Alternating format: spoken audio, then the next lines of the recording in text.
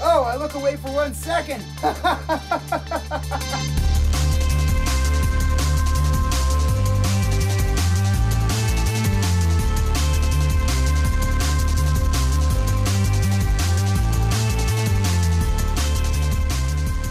Hey everybody, Garret Claridge here. Today we're going to be checking out a couple bazooka tubes. And if you haven't heard of a bazooka tube before, you're in for a treat because these things are pretty cool.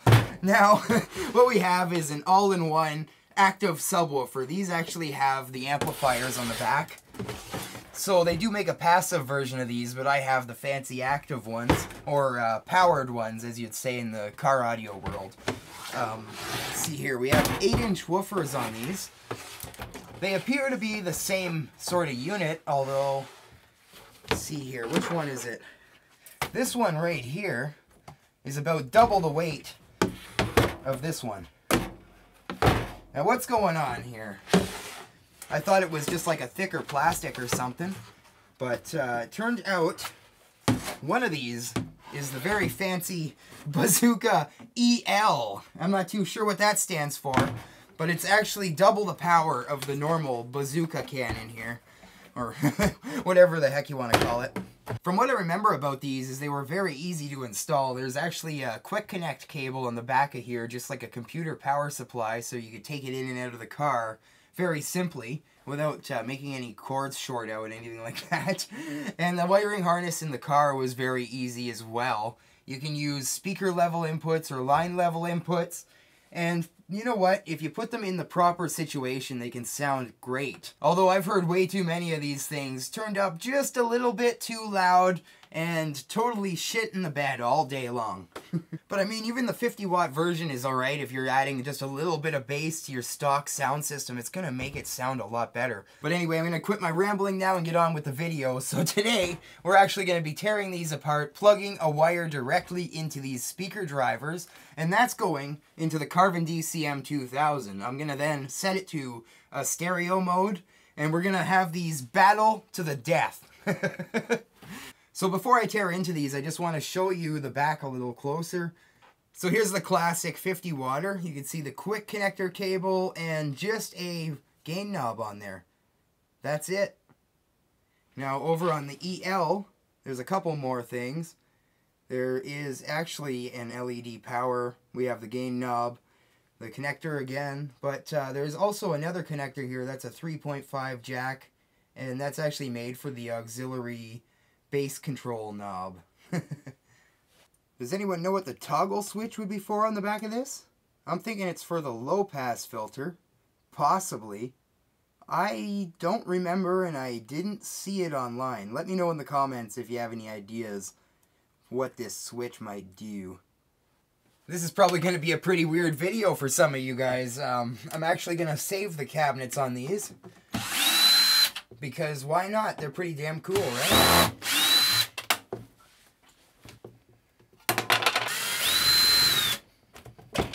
Wow, this drill's awkward.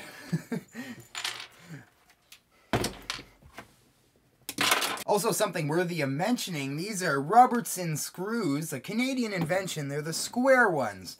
I've never seen that much on any kind of audio at all, really.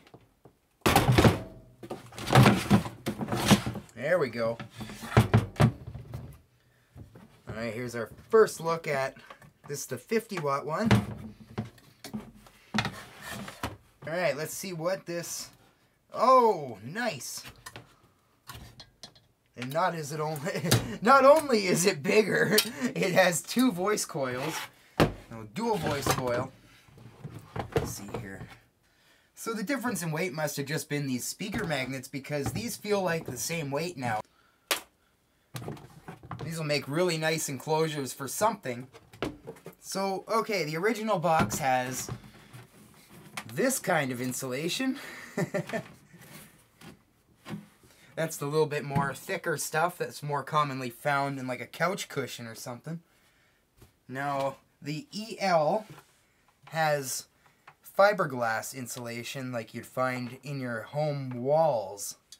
I particularly like this kind of insulation a little more for acoustics. Wow. It is a lot more dusty though. The back amplifier is using another Robertson, but it's the smaller version. Holy hell, they have a friggin' phone number. 1-800-THE-TUBE. the 50 watt one actually uses Phillips screws on the back. Okay, let's compare these amps. Now the 50 watter That's all we got. Not too bad though, nice little board. Now the 100 watt EL version. Oh yeah. You know what? It looks like it's double the amplifier. oh, how do I turn these? So the 100 watt amplifier is really cool. This thing, I could see all kinds of little projects I could do with this thing. Anyway, there she is. It looks like it's double the amplifier, honestly. So since the 100 watt has a dual voice coil, I'm actually just jumping the wires. You know, so uh, they're going to be getting the same signal, and I'm pretty sure that's going to have the proper impedance if you add them together. I remember anything from the short stint of car audio installation I've done. This is probably some of the worst soldering I've ever done, but whatever. So we see the movement a little better. I'm going to use one of these paint markers. Alright, we should be able to get a good sense of their movement now. There we have 50 hertz. A lot of motor noise on these. I thought it was the bench, but it's just the driver.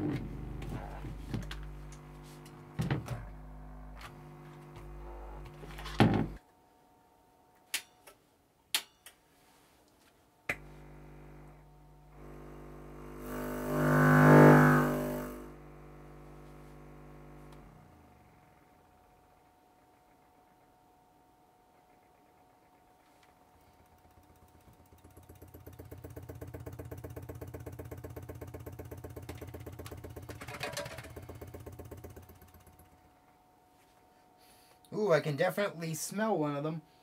It's the dual voice coil 100 watt is already making some smells, but they might not have been used in a very long time. There's 30 hertz.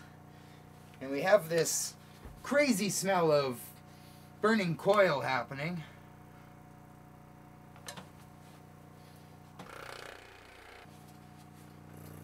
They seem like they move pretty well the same.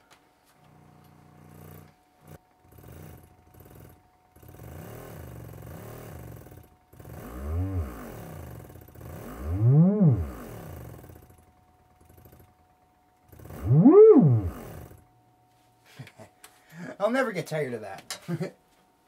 Alright, let's get these things moving with a little music. I got a new track by From Zero to Z and Stefan S.O. I think that's how you say your name. Something like that. I'll put the link in the description.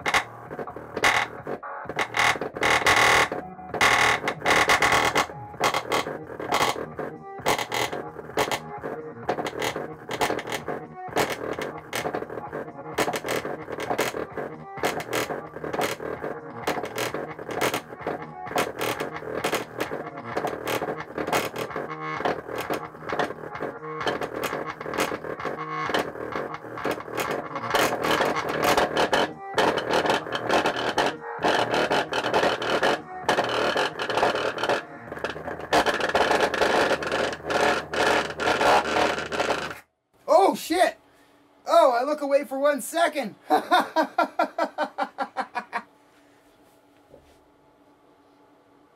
Whoa! The fan in this amp is just going full clip. oh my god!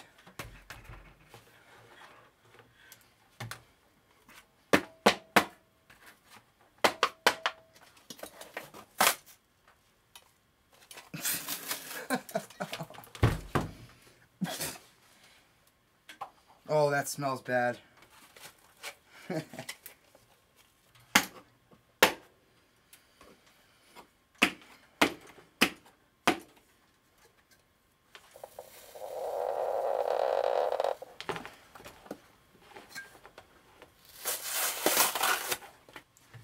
And here's what we have for coils. So the 50 watt version and the 100 watt version. Again, it just seems like double the size. That's pretty cool. The surround on this thing is crazy. Wow. it's a workout just taking these things apart. Well, there goes one of my cameras. Speaking of which, really sorry I didn't hit record on this camera. I wish that recorded the blowout. Hopefully this one got it. Had to double check that. It looked like the coil was perfectly fine. But it shorted out someplace. This one didn't blow out that good, but oh man. The EL version, that thing put out a smoke show. Let's see what the... Oh. The EL version has really crappy foam. That's the only downside to the EL I see is the crappy foam they used. Oh yeah. Yeah, this one made a mess. Oh man. Well, there we have it. I guess the EL wins. What'd you expect, really? It's double the power. Too bad about this one, though. Not even a touch of smoke. Well, that's about it for these bazooka tubes. If you enjoyed today's video, be sure to like the video, drop a comment, or subscribe to the channel for more. Thanks for watching, everybody, and have a great day.